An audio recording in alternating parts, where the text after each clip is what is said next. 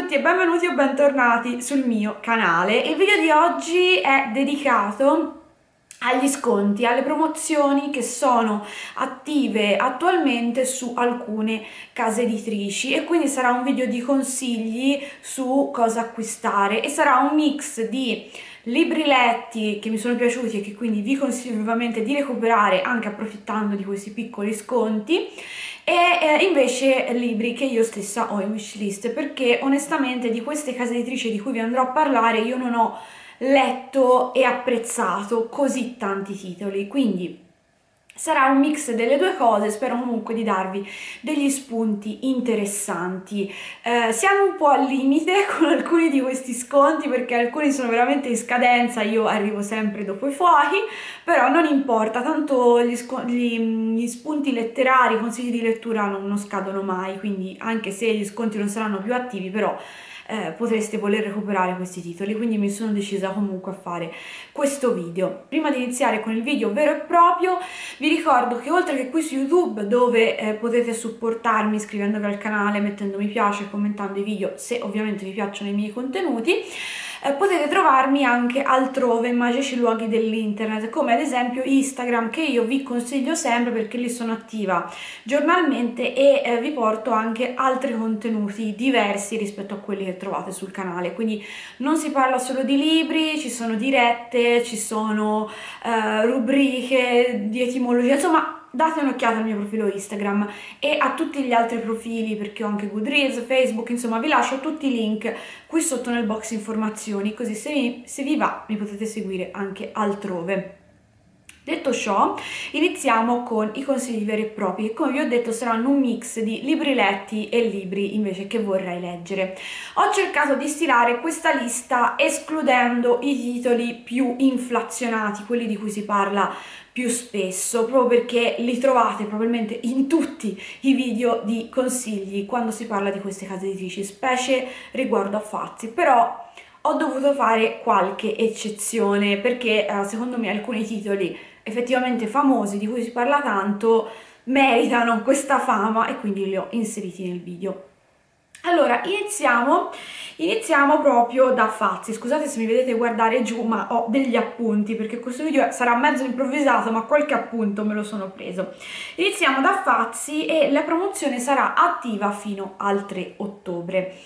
Allora, io di Fazzi vi raccomando soprattutto la collana Le Strade perché mio, per quanto riguarda i miei gusti è la più interessante. Poi c'è anche una collana dedicata ai fantasy young adult ma di quella collana io non ho letto praticamente niente nonostante abbia qualche titolo in ebook.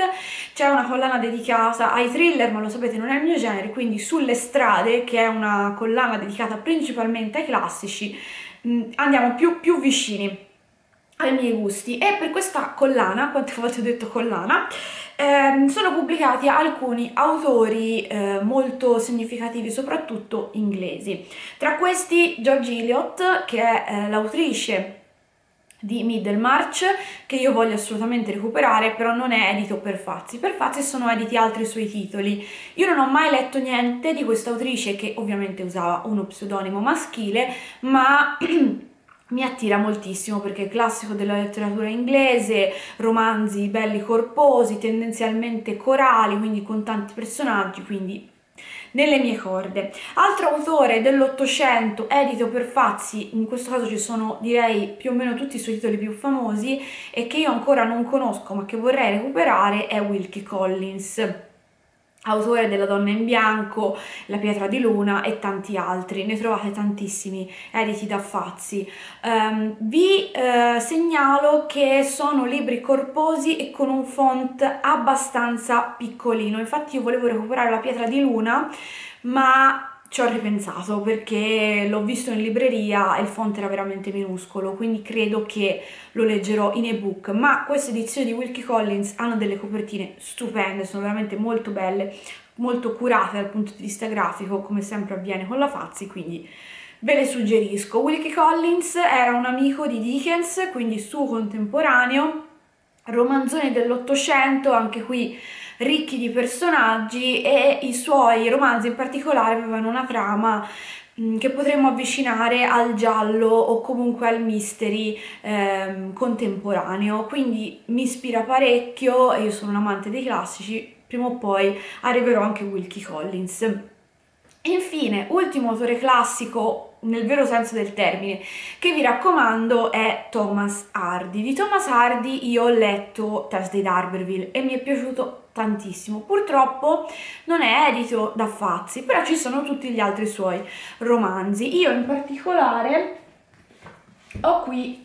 nel bosco che avevo recuperato secoli fa ehm, a un negozio del libraccio. Non l'ho ancora letto, però mi sento di consigliarvi Thomas Hardy a occhi chiusi perché eh, la sua scrittura è favolosa, le sue eh, evocazioni, descrizioni della natura, della campagna sono spettacolari e certo non è un autore dei più allegri però sicuramente eh, è un autore veramente che può parlare anche contemporanei e che racconta tanto dell'età vittoriana inglese e delle sue contraddizioni. Quindi io ve lo consiglio tanto e eh, sicuramente presto leggerò anche nel bosco perché Tess di Darville mi è piaciuta tantissimo. Di suo in lista anche La pazza folla e Jude l'oscuro che però mi sembra non sia edito pazzi Veniamo adesso a uh, invece un libro del quale si parla veramente tantissimo, o meglio una serie di libri, infatti qua vengo meno alla mia premessa di parlare di libri poco citati, eh, ma non posso fare a meno di, di, nominarvi questa saga perché io l'ho amata alla follia. Non credo sia un libro che può piacere a tutti, però sicuramente è una saga familiare molto molto valida e che vi riserverà gioie e dolori. E sto parlando ovviamente della saga dei Casalet di Elizabeth Jane Howard. Questo qua è il primo volume. Di Elizabeth Jane Howard Fazzi ha pubblicato vari volumi alcuni li possiedo. Io oltre alla saga dei Casalet ho letto soltanto all'ombra di Julius che però non mi ha convinta. Eh, quindi vi raccomando principalmente questa serie perché effettivamente è molto bella. La scrittura dell'Howard è splendida, è una saga familiare con tantissimi personaggi, veramente una serie eh, corale e ogni personaggio è caratterizzato benissimo, li sapete distinguere l'uno dall'altro senza problemi. Di questa serie esistono anche gli audiolibri, li trovate disponibili sia su Audible che su Storytel, ma li potete anche acquistare eh, in libreria o nei vari store online perché appunto sono editi da Emmons e vi consiglio tantissimo gli audiolibri perché sono fatti molto molto bene. Come vi dicevo non è una saga adatta a tutti, principalmente perché non è una serie ricca di eventi, ricca che vi tiene attaccati per la trama, per le svolte, colpi di scena, non ha un intreccio così avvincente. È una serie che parla della vita quotidiana di questi personaggi, di questa famiglia e di coloro che ruotano intorno alla famiglia. Quindi per questo vi dico che non è una serie per tutti, un sono romanzi dal ritmo abbastanza lento, però i personaggi sono costruiti talmente bene, talmente ben caratterizzati che non potete fare a meno di affezionarvi a loro e di conseguenza volete sapere che cosa gli succede, volete sapere come mandano avanti le loro vite, tra l'altro sono romanzi che coprono diversi decenni e il contesto, quindi la storia inglese di quegli anni, siamo dal 39 in poi, quindi attraversiamo tutta la seconda guerra mondiale e il dopoguerra, è molto molto interessante e ovviamente influisce fortemente sulle vite dei personaggi. Io non mi stancherò mai di consigliare questa saga, capisco che a molti può non piacere per i motivi che vi ho esposto, ma se siete amanti delle saghe familiari, assolutamente da recuperare eh, i Casalet. Rimanendo in tema di saghe familiari, un altro libro che vi consiglio specialmente se magari avete già letto la Howard e vi è piaciuta è Il capofamiglia di Evie Compton Barnett. Io non ho ancora letto questo libro, però mi sento di consigliarvelo perché appunto l'atmosfera, da quanto ho letto dalle recensioni, eh, dalla quarta di copertina, insomma, dalla sinossi mi sembra molto molto simile. In più l'autrice era molto amata da Natalia Ginsburg. Eh, il romanzo appunto come dicevo ha al centro una famiglia, il capofamiglia è appunto il padre che è diciamo eh, l'incarnazione del patriarcato, è un uomo tirannico, anaffettivo, che prende tutte le decisioni e che non lascia spazio né alla moglie né alle figlie e le protagoniste sono appunto queste due figlie, molto diverse fra loro, in quanto una è molto remissiva e eh, compiace il padre in tutti i modi, l'altra invece è più ribelle. Vi leggo un attimo quello che mi ero segnata che è scritto um, non è scritto nel resto di copertina, però lo trovate nella sinossi se andate a cercare il libro online. È una frase che un po' riassume il mood del contenuto del libro. Ve la leggo perché è significativo. Acume, sagacia, drammi familiari e dialoghi al vetriolo. Il meglio di Edie Compton Barnett concentrato in un romanzo finora inedito in Italia, che eh, lei stessa considerava il suo preferito. Abbiamo bisogno di sapere altro su questo romanzo? Per quanto mi riguarda no e mm, vorrei assolutamente leggerlo al più presto perché romanzo familiare, acume, battute al vetriolo, sembra proprio un romanzo adatto a me. Infine, altro romanzo Fazzi che non ho ancora letto ma che ho in wishlist è eh, la statua di sale di Gore Vidal. Gore Vidal è un autore intellettuale americano di grande pregio, del quale però effettivamente in Italia non sento parlare molto spesso, anzi quasi mai. Per Fazzi ci sono diversi suoi romanzi pubblicati, tra cui un romanzo biografico dell'imperatore Giuliano, se non ricordo male, ma quello che mi attirava di più, almeno per il momento, è appunto questo qua, eh, la statua di sale è ambientato negli Stati Uniti, nel sud degli Stati Uniti, eh, negli anni 60 se non ricordo male. Il protagonista è un ragazzo che appartiene a una famiglia borghese, quindi una famiglia benestante, lui è un ragazzo bello, intelligente e atletico che si innamora di un suo compagno di classe. Eh, è un amore molto intenso, però a un certo punto i due si separano per una serie di motivi. Tuttavia ehm, il nostro protagonista non scorderà mai questo suo amore nonostante poi successivamente abbia altre frequentazioni con uomini e con donne.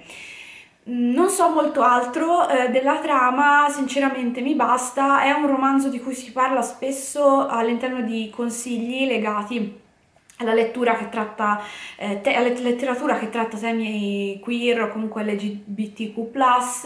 e è possiamo definirlo un classico del genere, in più sono curiosa di conoscere appunto Gore Vidal che è una figura di spicco all'interno della letteratura americana, letteratura che io non frequento spesso, quindi magari recuperiamo con la statua di sale. Come per tutti i libri che vi citerò in questo video, fatemi sapere se voi l'avete letto, se vi è piaciuto, se non vi è piaciuto, se vi interessa leggerlo, insomma Sentiamoci nei commenti. Seconda casa editrice eh, che ha applicato lo sconto del 20% in questo periodo su tutto il suo catalogo, escluse le novità, è la Minimum Fax. Eh, questi sconti saranno attivi fino al 26 settembre, per questo vi dicevo che con questo video sono proprio a ridosso. Io non ho letto molti titoli perché ci ricolleghiamo a quello che vi dicevo prima, non conosco molto la letteratura americana e Minimum Fax pubblica per lo più, non solo ovviamente, ma per lo più letteratura americana. Però ho due titoli, questa volta letti, che vi consiglio assolutamente. Del primo abbiamo parlato di recente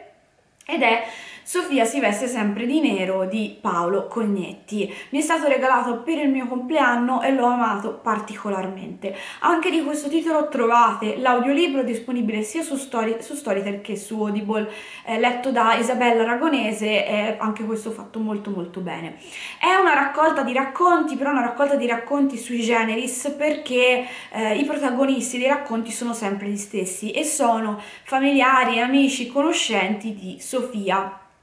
che è appunto sempre al centro della narrazione. È un po' come leggere vari pezzi di un puzzle poi da ricomporre per formare eh, la figura di Sofia a tutto tondo e um, è scritto molto bene Cognetti ha una penna felicissima nonostante la sua scrittura sia mh, abbastanza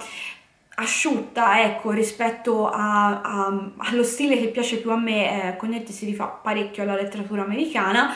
non a caso appunto è pubblicato per Minimum Fax, però mi piace moltissimo il suo stile di scrittura e eh, questo romanzo per racconti è veramente molto valido e ve lo consiglio tantissimo. Se volete recuperare una recensione più completa vi rimando al wrap up in cui ve ne parlavo, ve lo lascerò ovviamente linkato nelle schede e nel box informazioni. Altro titolo Minimum Fax che vi consiglio non è un romanzo ma un saggio, eh, un saggio che io vi farò vedere nell'edizione che ho, che è una vecchia edizione Mondadori che è andata fuori catalogo. Infatti questo libro è stato difficilissimo da recuperare per un tempo irragionevole, poi finalmente Minimum Fax l'ha ristampato ed è come funzionano i romanzi di James Wood. Io l'ho trovato con un colpo di fortuna sul libraccio anni fa e me ne sono innamorata. È un saggio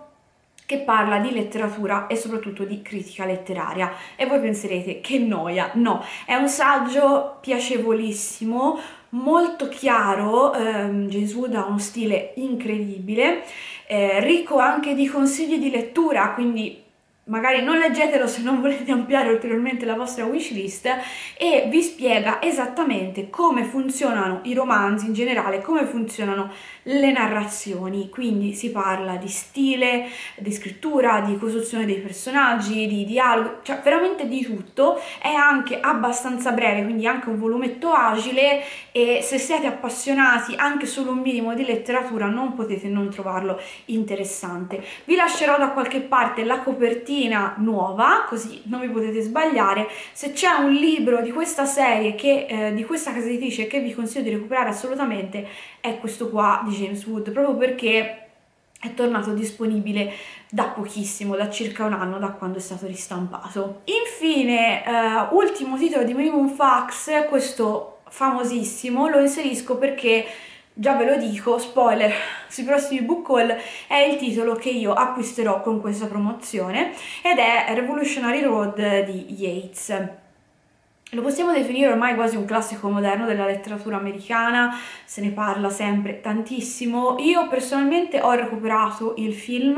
qualche anno fa, il film con DiCaprio, e mi è piaciuto veramente tanto, quindi ho voluto aspettare un po' di tempo dopo aver visto il film e adesso voglio leggere anche il libro, anche perché mi sembra proprio il mio genere, perché siamo in una famiglia, una coppia borghese, sobborghi di New York, una, una coppia che si ritiene super anticonvenzionale, in realtà è proprio inserita appieno nelle convenzioni di questa classe sociale. Poi succederanno una serie di cose che in qualche modo riveleranno, smaschereranno i nostri protagonisti e la situazione in cui vivono, però non vi voglio dire altro sulla trama. Il film è veramente molto molto bello e mm, sono curiosa di leggere anche questo romanzo. Passiamo adesso a Bao. Bao Publishing, casa editrice di graphic novel piuttosto famosa ormai, anche lei applica gli sconti del 20% fino al 3 ottobre. Non mi dilungherò perché io già l'anno scorso avevo fatto un video interamente dedicato ai consigli su cosa acquistare con Bao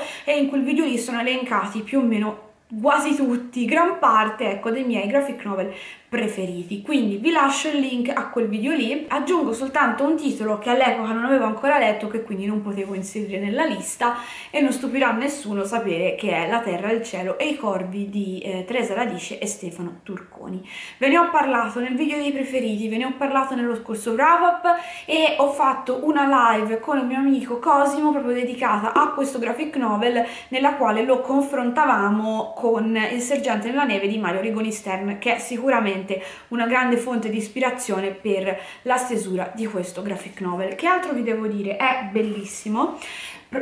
a mio parere il migliore di questa coppia di autori, quello che mi è piaciuto di più, mi ha coinvolta di più e quello sicuramente meno smielato. I disegni sono stupendi, come tutti i disegni dei loro graphic novel e io ve lo consiglio vivamente. Il protagonista è un italiano che in compagnia di un russo e di un tedesco nel 43 scappa da un campo di prigionia russo e si ritrova a vagare in mezzo alle steppe, in mezzo al ghiaccio. È, ehm, la storia è raccontata dal suo punto di vista e mm, parla, si parla di guerra ovviamente ma in modo marginale e molto più psicologico che non... Ehm, mostrando ecco appunto gli effetti della guerra a livello proprio materiale e si parla soprattutto di solidarietà, di solidarietà umana, di rapporti umani, di incomprensioni, di superare le differenze nazionali, linguistiche, insomma è un fumetto veramente molto molto bello che io vi raccomando. Per tutti gli altri consigli Bao il video lo trovate linkato, recuperatevelo. Rimanendo in tema fumetti passiamo alla La Terza. La, La Terza è una casa editrice che pubblica prevalentemente saggi, anzi direi esclusivamente saggi, però recentemente ha cominciato a pubblicare anche graphic novel e io vi consiglio assolutamente di recuperare Bastava chiedere di Emma. Anche di questo graphic novel si è parlato tantissimo, però eh, mi sento di consigliarvelo perché veramente è una lettura a tratti illuminante. Si parla chiaramente di tematiche legate al femminismo, come ad esempio il carico mentale, il carico affettivo, si parla di sessualità, di gravidanza e di molto altro, eh, in una versione a fumetti molto chiara perché utilizzando anche il mezzo grafico riesce a spiegarsi in modo molto più intuitivo e tutte queste tematiche sono declinate nell'ambito del quotidiano, quindi non è un graphic novel che riflette sul femminismo a livello filosofico parlando dei massimi sistemi, che per carità non c'è niente di male, anzi c'è bisogno anche di quello, ma declina tutte queste tematiche appunto nel quotidiano, mostrando, mostrandoci nella praticità della vita di tutti i giorni dove il patriarcato va a influire, a danneggiarci, a toglierci delle possibilità e dove appunto si può quindi agire per migliorare la situazione. Molto molto interessante, accessibilissimo a tutti, chiaro nelle spiegazioni, quindi io mi sento assolutamente di consigliarvelo. Ma come vi dicevo, la terza pubblica prevalentemente saggi e ha degli autori, diciamo così, di punta, eh, dei quali ha pubblicato, se non tutta la bibliografia, quasi. In particolare c'è Zygmunt Bauman, che è un grandissimo sociologo, eh, scomparso qualche anno fa. Io non ho mai letto niente di, di suo perché un po' mi intimorisce, ma assolutamente voglio recuperare eh, qualcosa, eh, specialmente Società Liquida, mi pare si intitoli uno dei suoi saggi che penso riassuma un po' il nucleo eh, del suo pensiero anche perché appunto la definizione di società liquida è proprio una sua definizione che poi è stata ripresa anche da tanti altri studiosi. Era appunto un sociologo e quindi eh, si parla molto della società contemporanea e mm, è un argomento che negli anni mi sta appassionando sempre di più, mi, mi interessa sempre di più a antropologia e sociologia, materie che non ho mai studiato all'università perché ho fatto un percorso diverso ma che vorrei approfondire diciamo in maniera autonoma, quindi sicuramente prima o poi recupererò qualcosa di Bauman. Altro autore di punta è Hobsbawm, Hobsbawm che ha un nome complicatissimo da pronunciare, è uno storico e forse lo conoscete per aver pubblicato Il secolo breve, che penso sia il saggio sul Novecento più raccomandato, più famoso, più forse anche valido. Però Il secolo breve non è pubblicato per la terza, è pubblicato per Rizzoli. Per la terza invece sono pubblicati gli altri tre volumi che compongono una ideale quadrilogia che con Il secolo breve va a coprire 8 e 900. Allora, io ho letto uno di questi, mi pare... Ehm, l'età degli imperi, ma non vorrei dire stupidaggini, per un esame all'università di storia contemporanea. E l'ho odiato, ma non perché il saggio fosse scritto male o non fosse interessante, no, sono sicura che se lo rileggessi adesso lo adorerei, ma eh, che eh, quel corso specifico, quel professore specifico mi ha fatto detestare tutto quello che dovevo studiare per quel corso. E per farmi detestare la storia ce ne vuole, ce ne vuole perché chi mi segue da un po' sa che io invece sono appassionatissima di storia. Quindi questi sono i danni che certi insegnanti fanno, ma lasciamo perdere. Eh, assolutamente voglio rileggere Hobsbawm partendo dal secolo breve ma sicuramente prima o poi nella vita, sono ancora giovane grazie al cielo, recupererò anche eh, gli altri tre libri che compongono questa ideale quadrilogia. Ovviamente non si limita a fare un elenco dei fatti eh, principali di questi due secoli, come potrebbe avvenire ad esempio nel manuale scolastico, ma la sua è tutta una riflessione sui mutamenti ideologici, sociologici, eh, i cambiamenti nelle classi sociali, l'imperialismo, insomma tutti quei grandi mutamenti che poi hanno determinato la società contemporanea così come la conosciamo oggi attraverso appunto questi due secoli cruciali, perché 8 e 900 abbiamo lo sviluppo dell'imperialismo, del capitalismo, quindi della, delle democrazie, per cui lo vedete, insomma, elementi fondanti della società odierna così come la conosciamo. Altro autore di punta, ovviamente lo conoscete tutti, è Alessandro Barbero. Io di Barbero ho letto per ora soltanto un titolo, eccolo qua, Carlo Magno, un padre per l'Europa, titolo che io vi consiglio tantissimo. È un saggio in cui Barbero parla ovviamente di Carlo Magno, della sua vita e di come il suo regno abbia forgiato per la prima volta il concetto di Europa come unità culturale, se così vogliamo, perché al tempo dei Romani il concetto di Europa non c'era, l'impero romano si estendeva anche oltre i confini di quella che noi consideriamo l'Europa, che poi è un confine ovviamente ideale eh, è con Carlo Magno, con il suo regno, con il suo impero che invece si comincia a definire l'idea di Europa, di europei, noi siamo gli europei, gli altri sono un'altra cosa. È un saggio interessantissimo, anche bello corposo, però si legge veramente bene, Barbero praticamente scrive come parla, inserendo tanti aneddoti, la sua scrittura è molto scorrevole, piacevole, a tratti anche divertente, quindi assolutamente consigliato. Comunque è un saggio valido, non è un, una storiellina, anche perché io questo libro l'ho letto perché mi è stato consigliato all'università, faceva parte del programma di un corso di storia medievale, quindi questo vi può attestare anche l'affidabilità di questo testo e degli altri testi di Barbero. Tra l'altro in sconto all'interno di questa promozione c'è anche Dante, uno dei libri più recenti, se non il più recente, eh, pubblicato da Barbero, che appunto eh, racconta eh, della vita e del contesto storico in cui è vissuto il sommo poeta. Io ovviamente ce l'ho in wishlist, lo voglio recuperare, tra l'altro anche di questo eh, esiste l'audiolibro eh, sia su Storytel che su Audible, ma voglio aspettare a recuperarlo mm, quando uscirà in brossura, perché al momento si trova solo l'edizione cartonata e appunto quindi sto aspettando, ma assolutamente dal momento dell'uscita che voglio recuperare Dante. Eh, ovviamente poi di Barbero ci sono tanti altri titoli che trovate su eh, editi dalla terza, su vari periodi storici, principalmente lui è eh, studioso del Medioevo, quindi ci sono tanti testi sul Medioevo, alcuni in collaborazione con Chiara Frugoni, che è un'altra saggista ehm, che parla di Medioevo molto valida e, e, anche di lei trovate diversi titoli editi dalla terza, eh, però appunto ci sono anche altri, c'è uno, un volume dedicato a Caporetto, uno dedicato all'Equanto, quindi vedete si spazia molto nei periodi storici. Date un'occhiata, c'è tanto tanta roba e Barbero sicuramente è un autore validissimo. Infine, ultimo spunto che vi lascio per quanto riguarda la casa editrice La Terza, è un saggio che io ho scoperto proprio spulciando un po' ehm, la, il sito di questa casa editrice per guardarmi un po' il catalogo anche in vista di questo video ed è un saggio che si intitola, il titolo è lungo per cui mi perdonerete se lo leggo,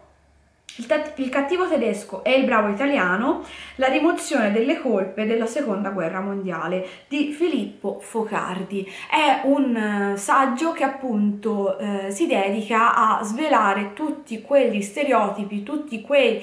Um, come dire, quelle convenzioni che noi ci portiamo dietro, per cui sì, va bene, eh, gli italiani erano fascisti, sì, hanno fatto la guerra, però in realtà non si sono macchiati di tante atrocità come hanno fatto i nazisti. Non è assolutamente così e quindi questo libro può aiutarci appunto a venire a patti con il nostro passato senza mh, maschere di alcun tipo e quindi anche a elaborarlo meglio. Per cui insomma io non l'ho letto però ce l'ho in wishlist e ve lo segnalo perché mi sembra un titolo molto interessante. Inoltre vi segnalo che nell'ambito saggistica eh, è attiva una promozione sempre del 20% sui tascabili del Mulino. Il Mulino è una casa editrice abbastanza autorevole quando si tratta di saggi e chiunque di voi abbia frequentato un'università umanistica eh, sicuramente si è ritrovato qualche manuale eh, del mulino da studiare durante qualche corso universitario. Eh, sono quindi ehm, scontati tutti i tascabili, io non ho consigli specifici da darvi perché non conosco bene questa casa editrice, però vi segnalo appunto che la promozione sarà attiva fino al 17 ottobre, quindi se dovete fare delle ricerche, degli studi su qualche argomento, specialmente in, per quanto riguarda saggi storici, ma non solo, dateci un occhio perché c'è veramente tanta roba. Infine, ultimi sconti che vi segnalo sono quelli sulla casa editrice Nutrimenti che saranno attivi fino al 19 ottobre. Allora, io anche in questo caso non ho mai letto nessun libro di questa casa editrice e il catalogo mi ispira fino a un certo punto, però comunque ve lo volevo segnalare e vi segnalo l'unico titolo di questa casa editrice che io ho in wishlist. La responsabile di questo fatto, cioè che io ho messo questo titolo in wishlist, è Jessica lettrice tra le ombre, vi lascio il link al suo canale e vi consiglio infatti di andare a recuperarvi i suoi video e il suo profilo Instagram perché lei invece ne ha letti tanti titoli nutrimenti e quindi sicuramente se vi interessa, se vi interessano dei consigli in merito troverete tanti spunti interessanti. Ma nel caso specifico io volevo parlarvi di Uh, Paradise Falls, eh, il primo volume dovrebbe essere una du duologia che si intitola Il Paradiso di Don Robertson, autore che ho scoperto proprio grazie a Jessica. È un autore americano che è morto credo abbastanza giovane, al suo tempo era molto valutato ma poi è stato un po' dimenticato fin quando appunto in qualche modo Stephen King non ne ha parlato riportandolo in auge e in Italia è stato pubblicato per la prima volta da Nutrimenti proprio recentemente. Anche in questo caso voglio leggervi una frase che è riportata online sulla scheda di questo libro sui principali store ed è questa il primo volume del romanzo più ambizioso di Don Robertson, il labirintico ritratto di una cittadina del Midwest, del suo sviluppo e del suo declino morale nei decenni che seguono la guerra civile americana. C'è bisogno di sapere altro? Non credo. Eh, romanzo corale, tanti personaggi, cittadina del Midwest, mh, mm, a poco dopo la fine della guerra di secessione, cioè per me questo è cioè, non, non, trovo, non, trovo, motivazioni per non recuperare questo libro. Eh, poi Jessica ne ha parlato benissimo, quindi insomma io ve lo segnalo, eh, anche se non l'ho letto, però mi sembra veramente un titolo molto molto interessante. Bene, il video finisce qui, io penso di avervi ammorbato abbastanza, fatemi sapere qui sotto appunto se avete letto alcuni di questi libri, se vi sono piaciuti, cosa voi consigliate di queste specifiche casettrici, quali sono secondo voi i must have di Fazzi, di Memo Fax, di Bao, insomma ci siamo capiti. Io vi ringrazio per avermi seguito fino alla fine, vi lascio qui sotto l'elenco di tutti i libri citati e tutti i miei contatti social e noi ci vediamo nel prossimo video.